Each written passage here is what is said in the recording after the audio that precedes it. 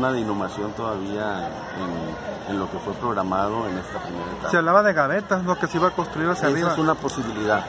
Pa- Nosotros ya estamos valorando en términos económicos para, en caso de que nos den la aprobación y para nosotros sea complicado sepultar hacia abajo, pues tendríamos que pensar en la instalación. Pero sí se va a quedar el- la obra.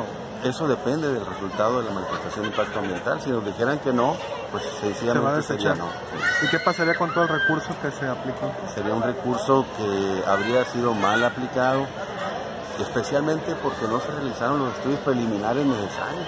Yo no puedo iniciar una obra si no hay lo necesario para iniciarla. Entre lo necesario para iniciar esa obra estaba en primerísimo lugar la manifestación de impacto ambiental. Eh, ¿Por qué? Porque un panteón, como nosotros sabemos, pues sirve para sepultar cuerpos humanos. Esos cuerpos humanos generan lixiviados y esos lixiviados tiene que garantizarse que no sean arrastrados por corrientes subterráneas superficiales a ningún sitio en donde exista alguna fuente de agua que tenga o que deba ser utilizada. ¿De cuánto fue el, el- el costo de la, de la primera etapa? 13 millones de pesos. Muy mal.